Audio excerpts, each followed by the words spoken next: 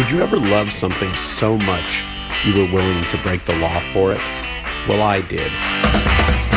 And what did I love? Rock and roll. Hi, I'm Julian David Stone, and welcome to my Kickstarter video. This is basically the archive I've been carrying around for 30 years. Last year was a tough year for rock and roll with the passing of David Bowie and Prince.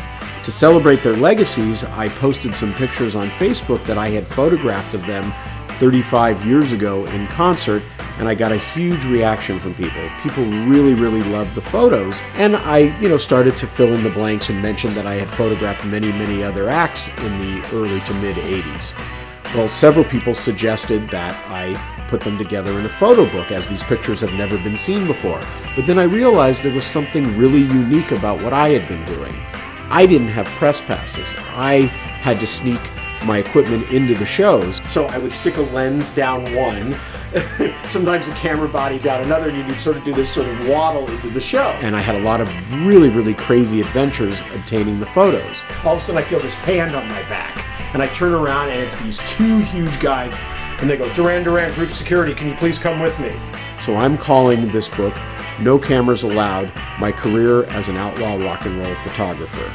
So, with your help, I'd like to get the archive organized and scanned and put together in a beautiful coffee table book that will contain over 250 pictures of 40 different bands that have never been published before. Included will be unseen photos of the Talking Heads, U2, Prince, the Go Go's, REM, the Police, the Ramones, Joan Jett, Elvis Costello, and many, many more. But along with these photos, you'll also get all of the stories of how I was able to take the pictures. There were times where if the lens was too big, I would actually tape it to my calf and all the crazy adventures that happened while I was doing them. I keep shooting. Son of a bitch, the guy jumps off the stage, starts charging into the crowd at me. I'll also get into how I eventually, towards the end of it, went pro for a little while. This is so and so from Rolling Stone magazine. I have your list here of photos, and I'm like, what? And then everything came to a crashing end at a Bruce Springsteen concert. You're taking a picture and you sort of go, that was weird, what just happened? So take a look at the rewards that are available. There's several fun ones, including the coffee table book, plus some archival prints, both 8x10 and 11x14, of any picture from the book that you might be interested in.